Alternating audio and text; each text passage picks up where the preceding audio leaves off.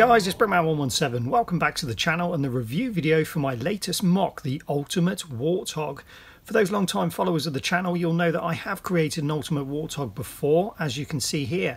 This MOC was based on a figure scale Ultimate Warthog. I wanted to create as much detail as I could, but still try to retain the figure scale of the build.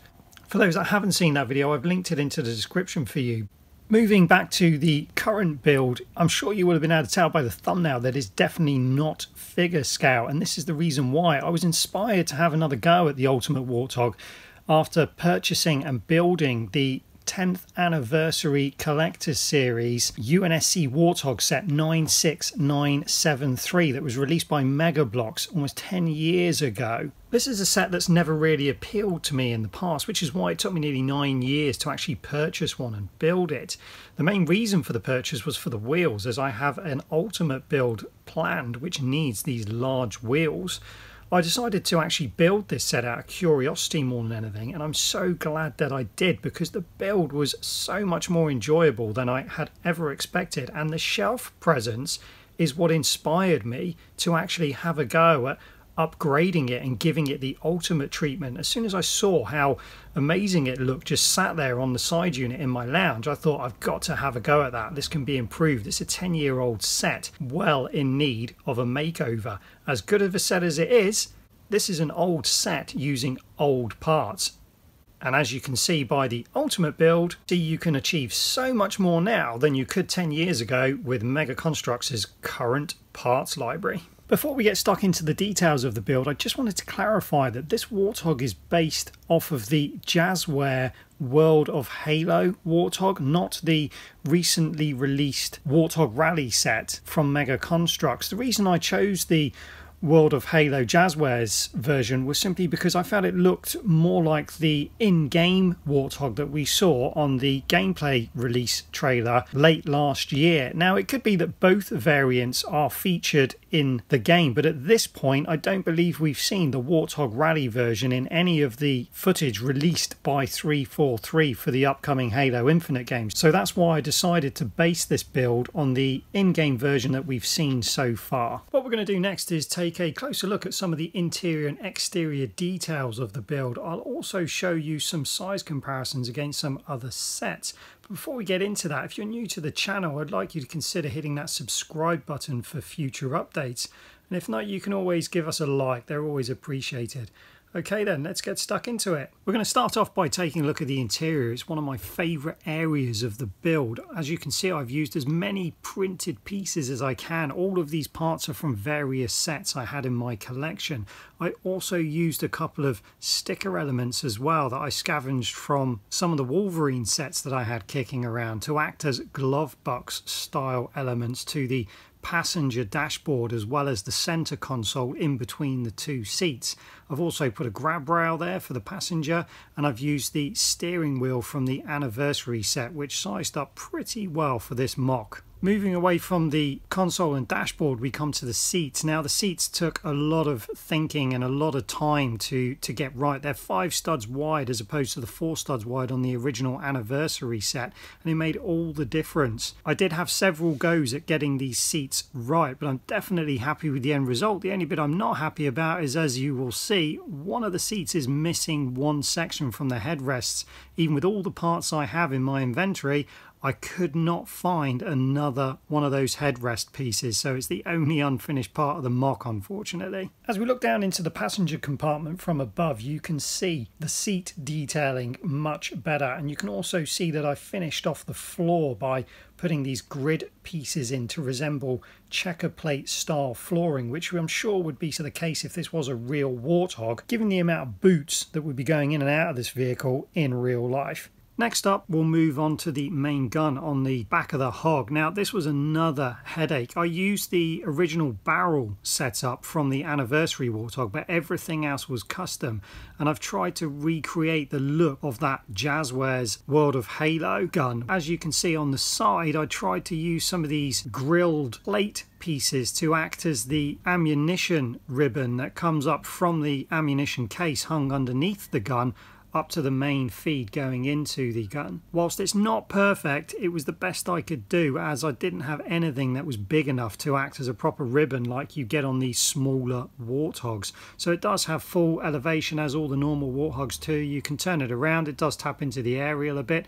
Other than that though, you've got 360 and the usual elevation options you would get on any standard warthog you've had from Mega Construx. Moving from the back to the front, we can take a look at the custom winch setup that I created created. So I used various different pieces here. I used three original style mongoose wheels with the tyres taken off to act as the cable spool in the middle of the winch there. I then put a bar through the middle of it so they can spin freely. I used the tusks from the 10 year anniversary Warthog that I used for the wheels and so on. And then I used one of the hooks from the very old original Warthog builds, the normal size ones, to act as the hook hanging off the cable that comes out of the front of the winch over the top of that bar, which would act as the cable feed. So no actual cable or string in there, but I think it gives the desired effect. Okay, now it's time to check out this suspension. Now, if you want to know how this suspension was put together, I suggest you view the build series that I released on the lead up to this review video. It explains most of what you need to know in those videos. But I did say in the suspension video that the spring tension was controlled by the amount of elastic bands that you put on each axle. This controls how stiffly the suspension springs back up once you've compressed it. Now as it is at the moment I've got it set very loosely so if I push it down it doesn't spring back up on its own accord. Now there is a reason for this. One, it allows you to control the ride height of the hog. You can just keep pushing down on it so you can have it really low to the ground ground or you can have it raised up. Now, I would imagine in law, I've never read anything, but you would imagine a warthog to have fully controllable height adjustable suspension, just like many modern four wheel drive vehicles do. When you're trying to travel at speed, you want the center of gravity lowered, so you'd compress that suspension down. When you're going off road, you want to jack it up a little bit. So, this system allows you to do that. It also allows you to pose the vehicle with it set with a minimum amount of elastic bands on there, it allows you to dip just one corner of the vehicle and it will stay in that position. So if you wanted to take photos of it with it looking like it's banking hard around the corner and it's got some body roll on it, you can do that whilst you've got the least amount of bands on there. But if that's not really your thing and you actually want to see the suspension spring up and down, you just keep putting bands on. So I'm going to put a few bands on here and then you'll see the more bands I put on, the more sprung tension you get from this suspension to the point where you can actually push down on the front and it will come back up on its own. You can also push down on the back and it will come back up on its own. So it does work, but I must confess some of these pieces are struggling to hold themselves together. It could really do with some custom pieces just to make this lot a little bit stronger. It wouldn't last in the hands of a child. If you push in the right places, it does work, but I wouldn't fancy its chances in the retail world. This is going to be our last feature before we move on to some size comparison shots. Now, as you can see, I've had to brick build the fuel cans for the back of the hog just because the ones that they've produced for the smaller sets were just too small. So I brick built these with some of those pieces that Mega Construx sent me a while ago to create some banished sets from. As you can see, all three fuel cans can be removed in one section. They can actually be removed separately as well. I'm just not going to do that for the purpose of this video. Once those are off, you can remove the toolbox which sits above them. The remaining fourth fuel can can't be removed. It's actually built into the back of the tailgate. Below the tailgate, you can see I've got a rear bumper which actually folds forwards to allow the actual tailgate to then be folded down so you can access the tray back of the hog. And if you don't want the tailgate or the fuel cans there, you can just remove the whole lot.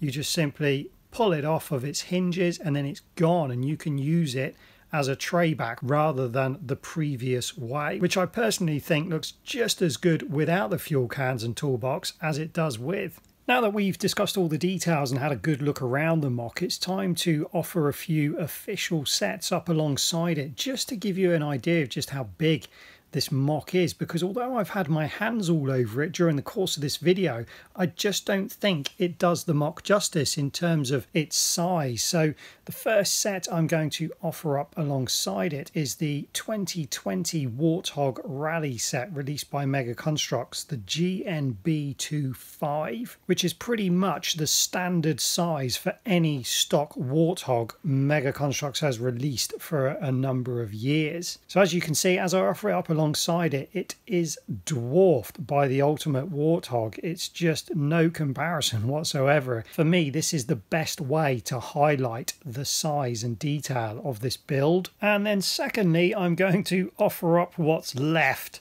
of the 10 year anniversary Warthog.